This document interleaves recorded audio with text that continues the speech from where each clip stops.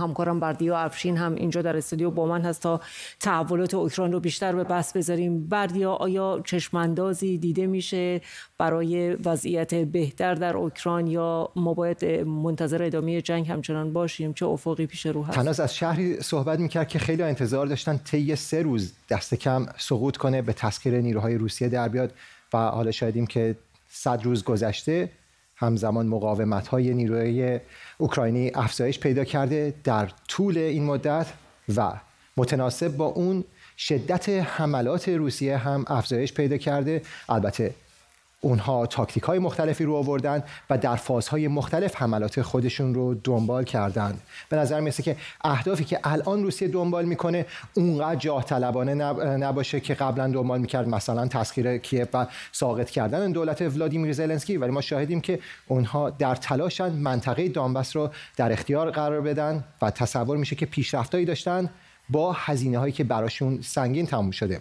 ولادیمیر زلنسکی در پیغام خودش گفته که ما پیروز خواهیم شد و تا پیروزی ادامه خواهیم داد. پیروزی به معنای اینه که او یک پنجم سرزمین های از دست رفته رو به دست بیاره از چنگ نیروهای مهاجم روسیه خارج کنه. ساعتی پیش دیمیتری پسکوف گفته که ما تا اینکه سخنگوی کرملین تا اینکه به اهداف نظامی خودمون دست پیدا نکنیم ادامه خواهیم داد. مشخص نیست که اون اهداف دقیقا چه خواهد بود و ینس ستولتنبرگ دبیر کل ناتو گفته باید دنیا خودش رو برای یک جنگ جانکاه و فرسایشی طولانی آماده کنه.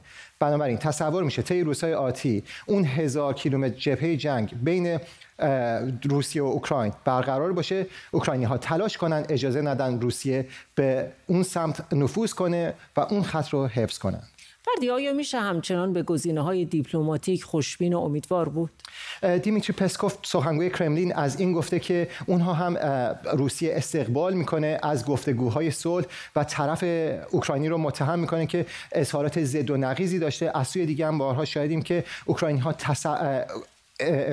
اصرار کردن بگن که اونها هم استقبال می‌کنن از گفتگوهای صلح.